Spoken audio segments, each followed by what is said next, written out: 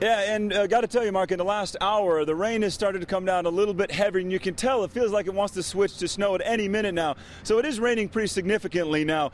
With all of these storms coming in, people up here are happy.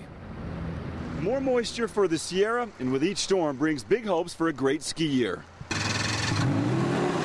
At Thin Air Motorsports in Truckee, the newest, the biggest, the baddest snowmobiles are already being snatched up by eager enthusiasts. We're up 35% uh, in the last four weeks over 08, but the vibe is way, way different. That vibe, Jay England says, people are spending responsibly. Instead of just going, oh, you know, next year I'll refine my house. As the snowstorm rolls in, all the rock salt. Caltrans is rolling out a new secret weapon. We can say we want to make a thousand gallons, push enter. Brent Rogers, the night manager at Caltrans, is making a batch of their newest black ice busting super solution, brine. That's right, salt water.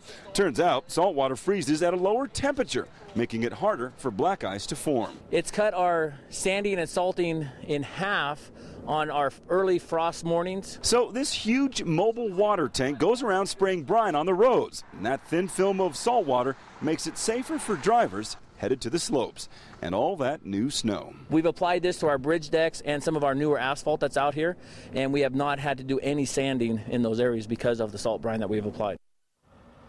So instead of just taking rock salt like this and sprinkling it on the ground to break up some of the ice, they mix it with water. It creates a film that's almost invisible, and that seems to do the trick. And if the predictions are right, they could save themselves hundreds of thousands of dollars this year alone.